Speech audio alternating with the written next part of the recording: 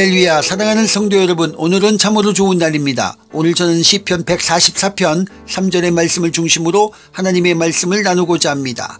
독일에서 전해오는 이야기입니다. 농촌에서 성실하게 사는 젊은 부부에게 하루는 어떤 노인이 나타났습니다. 노인은 성실하게 사는 젊은 부부에게 어떤 소원을 빌어도 다 들어주는 금반지를 선물로 주었습니다.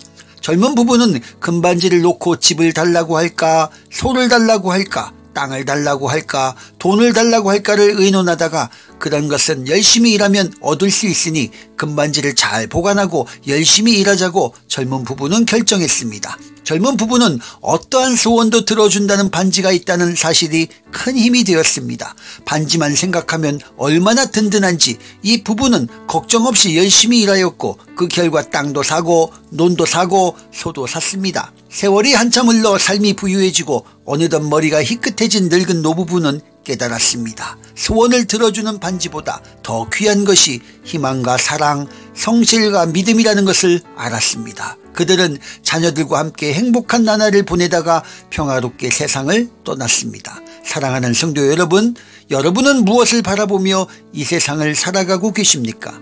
여러분의 장롱 속에는 혹시 소원을 들어주는 금반지가 있으십니까? 오늘 저는 이 땅에서 무엇을 바라보며 사는 것이 잘 사는 것인가를 함께 나누고자 합니다. 첫째로 내가 지금 사는 것은 주님의 크신 은혜입니다. 디모데후서 1장 9절에 하나님이 우리를 구원하사 거룩하신 소명으로 부르심은 우리의 행위대로 하심이 아니요 오직 자기의 뜻과 영원 전부터 그리스도 예수 안에서 우리에게 주신 은혜대로 하심이라.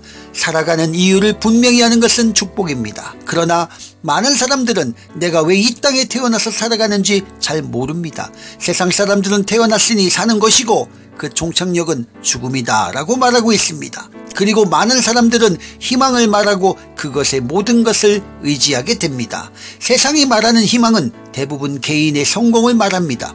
꿈을 이루어 나아가는 것이기도 합니다. 그것은 목적을 이루고 살아가는 것입니다.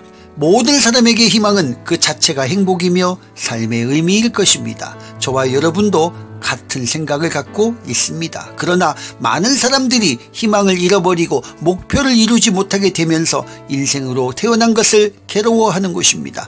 자신은 실패한 인생이라며 자책을 하게 되는 것입니다. 사랑하는 성도 여러분, 우리는 어떻습니까? 우리에게도 희망이 있습니다. 그러나 세상이 말하는 희망은 그렇게 중요하지 않다고 믿는 것입니다. 우리에겐 세상이 모르는 희망이 있습니다. 사랑하는 성도 여러분, 우리에게는 주님의 재림이 최대의 희망인 줄 믿습니다. 그러므로 우리는 희망을 가슴에 품고 하나님께서 베풀어 주시는 큰 기쁨을 누리며 사는 것입니다. 주님이 재림하시면 주님의 신부가 되고 이 세상에서 그 누구도 누릴 수 없는 하나님의 영광에 참여하게 되는 것입니다. 그러므로 힘들고 어려울 때마다 다시 오실 주님을 바라보시면서 열심히 사시기를 주님의 이름으로 축복합니다. 속상하고 억울할 때마다 다시 오실 주님을 소망하면서 관용하시고 용서하시기 바랍니다. 주님이 오시면 우리는 승리자가 되며 놓여져 있는 모든 문제는 다 해결될 것입니다. 억울한 일은 다 풀릴 것이라는 확신을 갖고 기쁨과 관용의 삶을 사시기를 바랍니다. 그러므로 저와 여러분이 지금 사는 것은 주님의 크신 은혜인 줄 믿습니다. 주님이 오시는 날 주님께서 칭찬해 주실 것입니다. 잘 견디었구나. 잘 참았구나. 수고했다. 이제 나와 함께 가자. 사랑하는 성도 여러분 주님의 재림이 임하는 날 그 모든 수고와 삶의 모든 짐을 내려놓고 영광의 주님을 맞이하시게 될 여러분을 환영하며 주님의 이름으로 축복합니다. 둘째로 주님을 믿게 된 것은 더욱 크신 은혜입니다. 고린도전서 15장 10절에 그러나 내가 나 된 것은 하나님의 은혜로 된 것이니 내게 주신 그의 은혜가 헛되지 아니하여 내가 모든 사도보다 더 많이 수고하였으나 내가 한 것이 아니요 오직 나와 함께 하신 하나님의 은혜로라. 저는 초등학교 2학년 때 여름 성경학교를 나간 적이 있었습니다. 나간 이유는 단 한 가지였습니다. 여름 성경학교에서 아만나를 준다고 해서였습니다. 하루 종일 성경을 가르쳐주고 게임도 하고 다양한 놀이를 할 수 있었습니다. 그리고 늦은 오후가 돼서 아만나를 받아들고 집으로 뛰어갔습니다. 아만나를 먹을 수 있었던 유일한 길은 여름 성경학교에 가는 것이었습니다. 그 추억이 지금도 아련하지만 너무도 감사했던 것은 하나님의 이름을 알았다는 것이었습니다. 초등학교 3학년 시절 어느 날 어머니께서 막내 여동생을 제게 맡기고 급한 일로 나가셨습니다. 동생을 돌보라는 말을 잊고 정신없이 동네에서 놀다가 늦은 저녁이 되어서야 여동생이 없어졌다는 것을 알았습니다. 그 당시 막내 여동생이 3살 무렵이었습니다. 저는 남동생과 함께 동네 구석구석을 찾아 다녔습니다. 그리고는 동네의 고가다리 위를 올라갔습니다. 고가다리 위에서 난간을 붙잡고 하늘을 쳐다보며 울었습니다. 그때 나의 입에서 나온 첫 마디가 하나님이었습니다. 하나님, 막내 여동생을 찾아주세요. 제발요. 고가다리 난간을 붙잡고 얼마나 울었는지 모릅니다. 당시에는 아이를 잃어버리면 못 찾는 일이 매우 많았던 시절이었습니다. 누가 데리고 가면 쥐도새도 모르게 사라지는 그런 시절이었습니다. 하루가 다 저물어가는 시간에 사람을 찾는다는 것은 어린아이에게는 큰 어려움이었습니다. 모든 것을 포기하고 집에 들어와 조용히 앉았습니다. 그리고 아버지와 어머니께 맞아 죽을 걱정만 하고 있었습니다. 한참이 지난 후 어머니께서 오셨습니다. 막내 여동생을 찾았습니다. 사실대로 말했습니다. 어머니는 우리 형제를 정신없이 두들겨 팼습니다. 그리고 우리는 울고불고 잘못했다고 살려달라고 외쳤습니다. 화를 버럭 내시며 우리 형제를 패시던 어머니께서 잠시 무슨 생각을 하더니 밖으로 급히 나가시는 것이었습니다. 남동생과 저는 서로를 원망하며 울었습니다. 이제 아버지한테 맞아 죽는 일만 남았구나. 어린 나이에 너무 큰 충격을 입은 우리 형제는 서럽게 울기만 했습니다. 그리고 얼마가 지났을까요? 밖에서 막내 여동생의 노랫소리가 들렸습니다. 어머니께서 여동생을 데리고 들어오는 것이었습니다.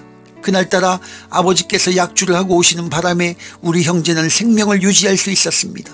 어머니께서 저희를 패시다가 갑자기 생각난 것이 친한 동갑내기 친구 쫌민이네였다는 것이었습니다. 어머니는 항상 막내 여동생을 등에 업고 쫌민이네를 자주 다녔습니다. 그 길을 막내 여동생이 기억하고 그 길을 따라 쫌민이네를 걸어가게 된 것이었습니다. 쫌민이 아주머니는 밖에서 아이가 우는 소리가 들려서 문을 열어보니 막내 여동생이 길에 서서 울고 있었다는 것입니다. 우는 아이를 데려다가 목욕시키고 밥 먹이고 놀게 해주었다는 것입니다.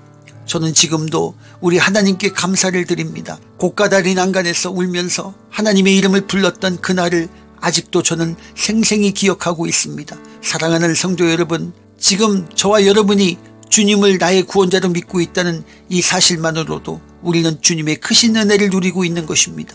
어린 날의 그 사건 이후로 저는 하나님의 이름을 부르며 기도할 때마다 그날의 감격이 생각나서 마음이 울컥할 때가 많았습니다. 아만나 얻어먹으려고 교회에 나갔다가 하나님의 이름을 알았습니다. 그 거룩한 이름을 알게 되고 주님을 믿게 된 것은 제 인생 최대의 축복이었습니다. 셋째로 마지막 날까지 지켜야 할 것은 믿음입니다. 디모데우서 4장 7절로 8절에 나는 선한 싸움을 싸우고 나의 달려갈 길을 마치고 믿음을 지켰으니 이제 후로는 나를 위하여 의의 면류관이 예비되었으므로 주 곧 의로우신 재판장이 그날에 내게 주실 것이며 내게만 아니라 주의 나타나심을 사모하는 모든 자에게도니라 라고 기록하고 있습니다. 지금 저와 여러분이 사는 것은 크신 은혜라고 했습니다. 그리고 주님을 믿게 된 것은 더욱 크신 은혜인 줄 믿습니다. 그러므로 주님 오시는 그날에 저와 여러분은 반드시 주님께 칭찬받는 주의 백성이 되어야 할 것입니다. 우리 주님께서 다시 오시기 전까지 부탁하신 말씀이 있었습니다.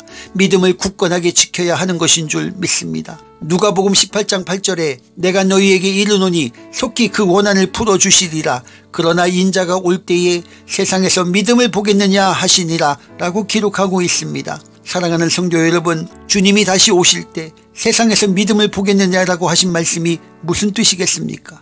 주님 다시 오시는 그날에는 어느 누구도 믿음을 갖고 있는 사람이 없다는 것을 말하는 것입니다. 그러므로 마지막 날까지 믿음을 지키는 믿음의 백성들이 되시기를 주님의 이름으로 부탁드립니다. 사랑해 주님 감사합니다. 인생의 고난과 어려움을 겪고 힘들게 하루를 사는 주의 백성들에게 희망과 소망으로 오신 예수님을 바라봅니다. 우리가 죄 많은 세상에서 사는 것은 오로지 주님의 은혜임을 고백합니다. 다시 오실 주님을 기다리며 주님 주시는 은혜를 힘입고 오늘도 믿음으로 일어서는 주의 백성들에게 한량없는 위로와 은총을 내려 주옵소서 예수님의 거룩하신 이름으로 기도드립니다. 아멘